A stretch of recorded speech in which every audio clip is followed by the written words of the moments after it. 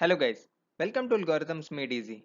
Today we will go through day 4 problem from July Leetcoding Challenge, ugly number 2. Please like the video and if you are new, don't forget to subscribe to our channel so that you never miss any update. Write a program to find the nth ugly number. Ugly numbers are positive numbers whose prime factors only include 2, 3 and 5. In the given example, we need to find the 10th ugly number, which comes out to be 12. We are given notes that 1 is typically treated as an ugly number and n does not exceed 1690.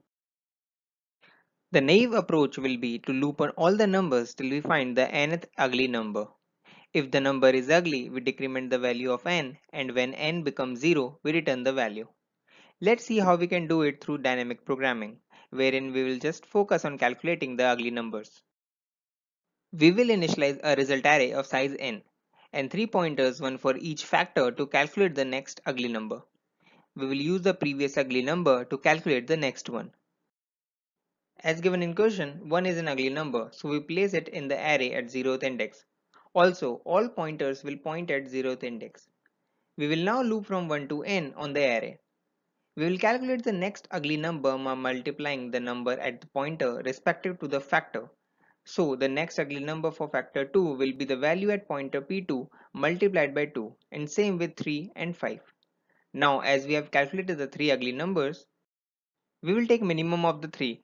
This minimum is nothing but the next ugly number. So we put it at index i in the result.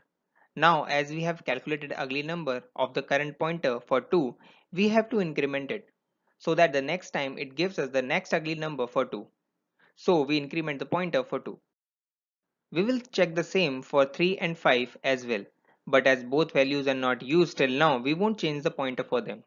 This completes our first loop and hence the i gets incremented. We again find the next ugly number and this time the minimum is 3. So we add 3 into result and increment the pointer for 3.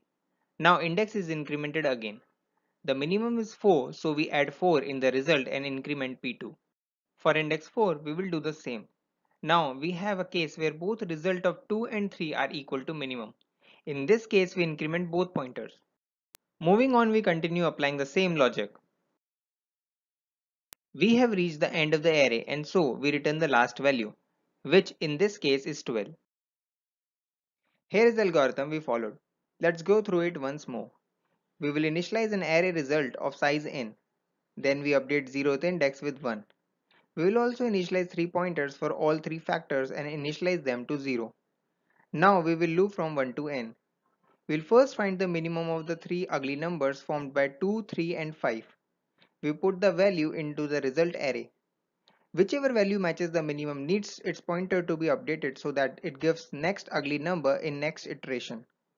At the end we return the last index value. The time complexity is of 1 because we know that the value cannot be greater than 1690.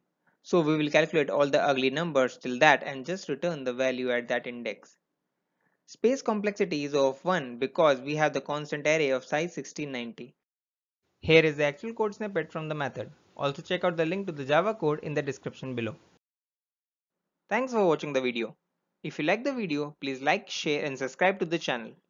Let me know in the comment section what you think about the video.